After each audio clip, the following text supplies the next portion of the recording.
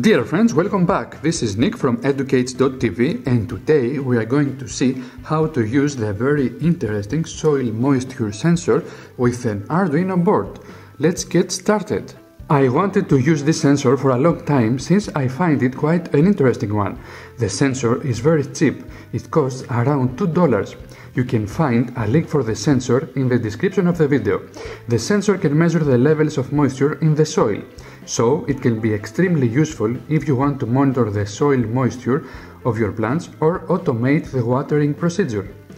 Let's see the project we are going to build today. I have one cup in front of me with dry soil. If I place the sensor in the cup, we can read a low soil moisture value at the Nokia 5110 LCD display.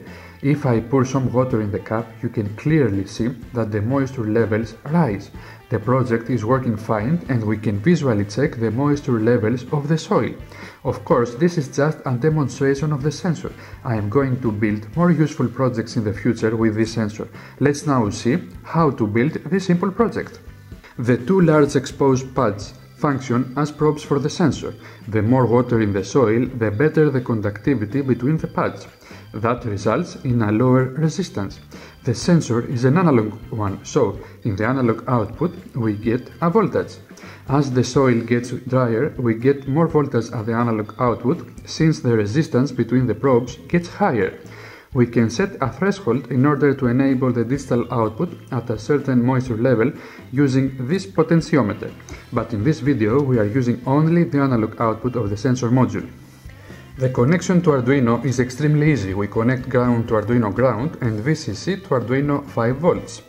Next we connect the analog output of the sensor to analog pin 0 of the Arduino board. Then all we have to do is to connect the Nokia 5110 LCD display. Watch the detailed tutorial I have prepared on how to connect the Nokia 51 display to Arduino. It is very easy.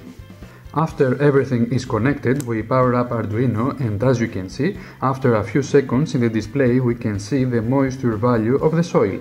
Now let's see the code of the project. I have prepared two sketches for you. The first one does not use the Nokia 5110 LCD display. It just prints at the serial monitor the moisture levels from the sensor. The second sketch uses the Nokia 5110 LCD display and it prints out the value in percent. The code is very simple. We read the analog value from the sensor and we convert it to a value from 0 to 100 where 0 is dry soil and 100 is wet soil. Then all we do is to print that value on the Nokia display.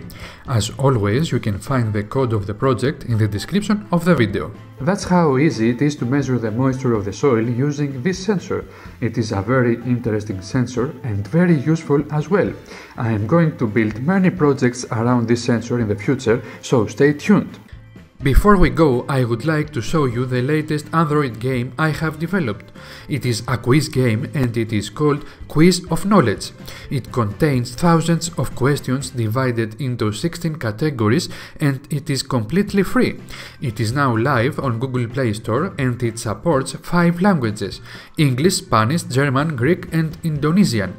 If you like quiz games, I am sure you will enjoy this. If you wish to download it, you can click here or in a link in the description of the video. Thank you very much for your support. If this is your first time here, I would love to have you subscribed. In this channel, I post videos about do-it-yourself projects every Saturday. I love making things and I believe that anyone can make things anyone can become a maker. That's why I created this channel in order to share my knowledge with the community and learn from the community. I hope you will join us. Until next Saturday, watch, learn and build.